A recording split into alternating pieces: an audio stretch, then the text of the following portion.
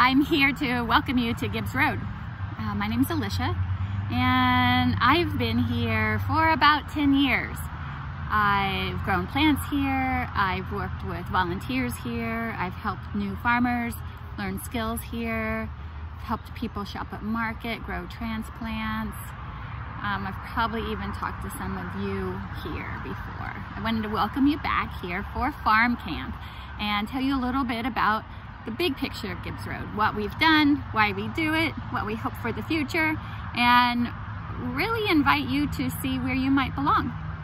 Okay, so uh, to start with, uh, I'm sitting here in the South 50. Um, see the, high, the highway behind us, uh, 635. It gets louder and louder every year.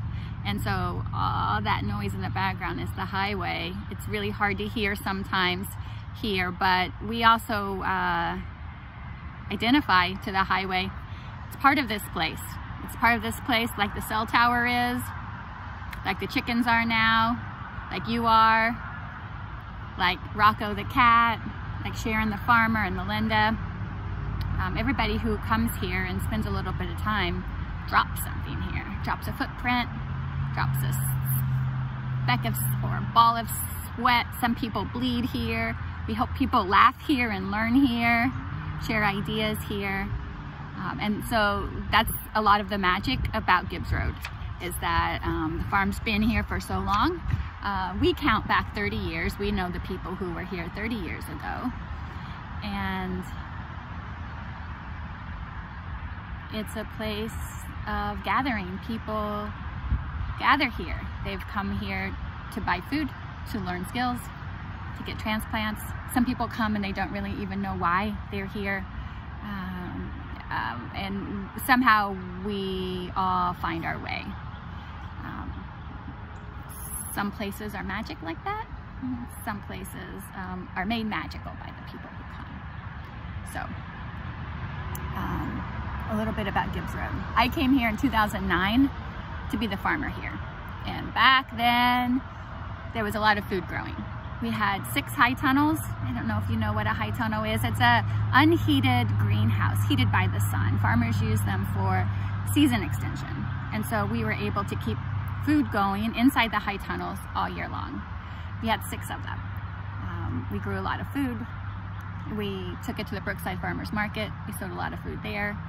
We brought up 40 young farmers along the way they're scattered around the city and beyond now doing their own thing.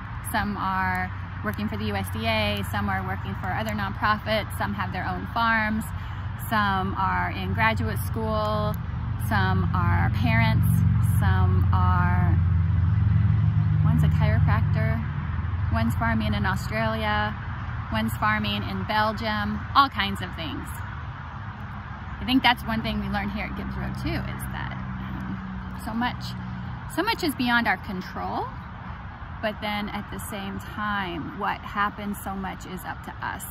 And that's part of farming, right? To learn that you can live in between these two truths. You can live between having no control at all and needing to surrender and understanding how powerful every day is, the possibility of every day. And um, it's something that you learn here. You learn the seasons and you learn um, possibility. So I'm sitting here in the South 50. Um, the South 50 is a the southern edge of the farm. So it's along the tree line and it's the southern 50 feet all the way from 42nd Street west to 635. So we call it the South 50. It's the 50 southernmost 50 feet of the farm. Um, we took it out of annual production and so now we have some berms and swales to capture some water and let water seep into the soil. Uh, those berms and swales are covered with native plants, so we are growing native plants here. We have these big old logs back behind my right shoulder, uh, just for playing on. Um, we have a bunch of leaves that our friend uh, John Beaver and his crew brought to us. Uh, we use the leaves to mulch everything and to make paths we have an area over here, a gourd tunnel that we will get planted with all kind of vining things. There's a path through the whole South 50. There's a corn maze and some raspberries growing. There's just wildlife, a meadow, um, some hazelnut trees and pussy willow. We have aronia berries growing here and some elderberries. The idea with the South 50 is to embrace uh, the natural world and not think that we are separate from it, to understand that we're not separate from it, understand that we're not above it, and really to accept the idea that it's not ours to change and mold to fit our needs. Back in those days when I was harvesting for market and we had all those high tunnels and pushing production so hard, you know, um, that was part of my life and that was part of the, that is part of the history of the farm and I'm proud of what we did then, um, but it was, we did it enough. Um, when we started this organization, when we came and decided to try it again here and start KC Farm School, we wanted to embrace the wonder of the farm. So instead of um, cutting down or being angry at these big trees um, for the shade they cast, we are grateful for the shade they cast. I'm sitting at a picnic table here in their shade. Uh, we walk into the farm through through the sun and when we arrive to the South 50, we're greeted by the shade and it's a relief. Um, the South 50 is a place of reflection, of wonder, of exploration, of learning, of being. It's a, a nice spot in the middle of this busy place to have some time on our own, to have some time to consider what's next. So South 50, it's a new part of the farm. It's a still building part of the farm. Uh, there's plenty of work here. If you're interested in learning more about the South 50, we can find ways to help you do that. Uh, if you're interested in helping us continue to develop the South 50, to take care of the South 50, we can, we can um, help you do that as well.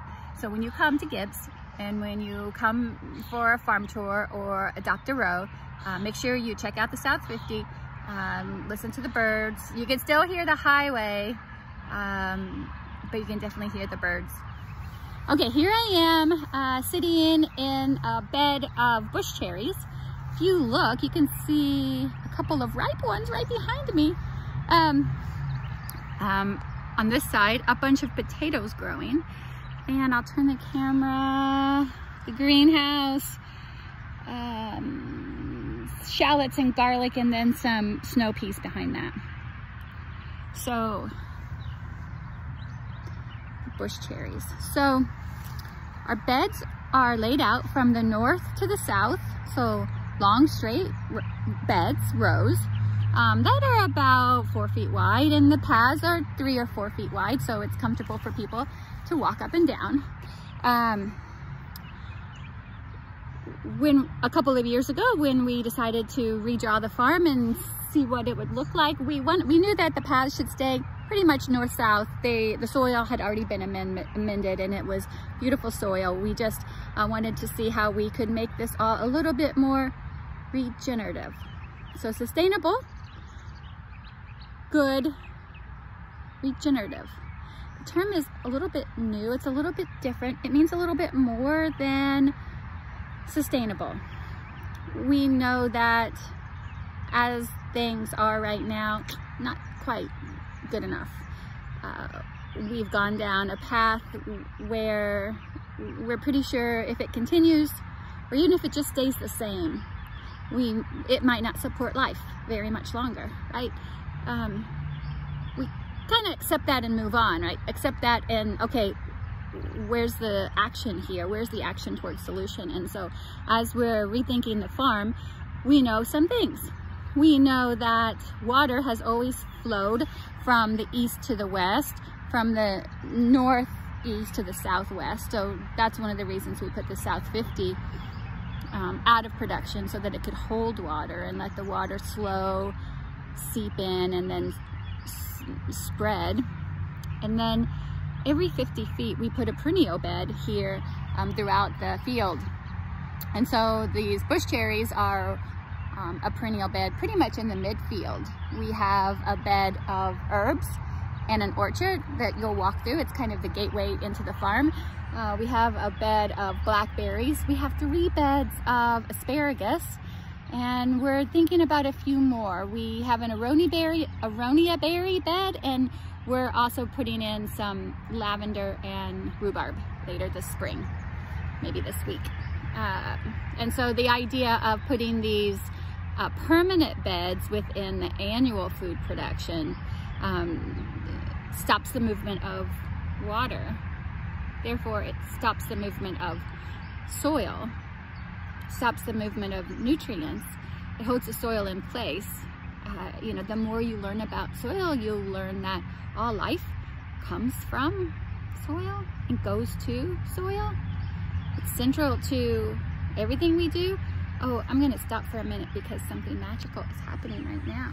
I'm gonna turn this around. We have a bumblebee. Oh, she just left. She was checking out this vetch. So interestingly enough, this purple vetch, hairy vetch, was grown here as a cover crop. And a cover crop is another reason or another way we take care of the soil. We grow annuals. Annuals are vegetables that grow from seed to harvest in one year. Um, and it takes a lot out of the soil. Can you imagine what it takes out of the soil to grow one of those eight foot tall tomato plants that put on dozens and dozens of tomatoes? Or beets, when you pull beets out of the ground, what nutrients you're taking out of the ground inside that beet. And so a way that farmers are able to regenerate the soil is with cover crops. Some are overwintered cover crops like the vetch we just saw. Um, you see that in the fall and it grows a little bit, but then it really takes off in the spring and flowers in the spring. Provides food for the native bees that are here and also for the honeybees that we keep here. Uh, there are summer cover crops. Um, buckwheat is a really popular one right now that people are really excited about growing. Uh, the farmer that I learned from, his name is Mark Trella, and he would tell me, if you don't know what to plant, plant buckwheat. Because um, by the time you figure out what you're planting, you'll be ready to mow it down and work it in. It goes from seed to flower in 30 days. And so, um, believe it or not, sometimes it takes 30 days to figure out uh, what you're doing next, especially when it's 100 degrees in August and it's been 100 degrees for a month or so. So, um, planting cover crop feeds the soil, it holds the soil in place, it feeds the bees. Um, the flowers are beautiful. Um, and then there are a dozen other cover crops people, farmers use. Winter rye, oats, snow peas, winter peas. Uh, some farmers use sunflowers or sun hemp, sorghum Sudan grass, all kinds of things to learn. So I guess that's the that's a point too of farm camp um, and of this farm of life, right? Uh, you tend to get out what you put in. So if you want to um, join us for yoga in the morning and journal a little bit in the afternoon and take care of your garden, I think you'll have a fine time at farm camp. If you want to come to the farm and learn everything that's happening here, good luck, but I think you'll have a great time at farm camp. If you want to take an idea that you get here and expand it and make it your own and grow it into something new, then farm camp is really going to serve you well. It's like life. You got to show up. There's our honeybees. Two hives. How many queens you think are in those hives? It's a trick question. There's one queen in each hive. It's a fascinating story. One queen and thousands of workers. Amazing, right? So, KC Farm School at Gibbs Road. This is an amazing place that we're excited to share with you. We're excited to think that you want to learn more about farming, um, maybe about honeybees, making seed, growing tomatoes, maybe about herbs, maybe about cooking. Maybe you're not quite sure what it is that you want to look look at and learn here. Maybe you're just coming because someone's someone thinks it's a good idea. Well, whatever the reason that you come here, doesn't really matter. I want to thank you for showing up. Uh, thank you for participating when you're here. Um, and I, I can make a promise that um, you're gonna go away a little bit different. You'll have experiences here that stretch you, push you, push you to be stronger, get you hot and dirty and maybe even, you know, frustrated. It's a great place for all of that. We've all been there. It's a great place for learning and for just being human. It's a place where just being human is allowed. Just being human is the best thing you can be here. So show up, be human, maybe have some fun, um, and let me know. I'd really love to hear about your farm experience.